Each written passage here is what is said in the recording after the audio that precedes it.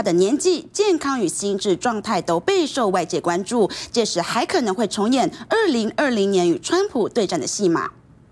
抗议群众闯进美国国会大厦，警察拉着围栏，各种混乱场面出现在拜登宣布连任的影片中。Freedom,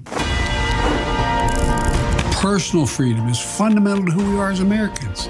There's nothing more important, nothing more sacred. 高龄八十岁的美国总统拜登正式宣布竞选连任。拜登亲自担任旁白，以一个字“自由”为开头，提及妇女堕胎权、捍卫民主、投票权和社会安全网等政见，当作主打二零二四选战的主轴。Every generation of Americans has faced a moment when they have to defend democracy, stand up for our personal freedom, stand up for the right to vote and our civil rights. And this is our moment. 他竞选连任的口号是“让我们把工作做完”。目前的副总统贺锦丽将再次和拜登搭档竞选，但外界更在意的是拜登的年纪。如果他成功连任，那么到了第二个任期结束，他就已经高龄八十六岁，让外界十分关注他的健康和心智状况。He right now is the oldest president to have ever held office, and running at the age of 82 is going to raise issues. 另外，前总统川普仍是目前共和党内声势最高的参选人。人。二零二四年美国总统大选有机会重现二零二零年的世纪对决，但川普现在也七十六岁，若是赢得下届总统大选，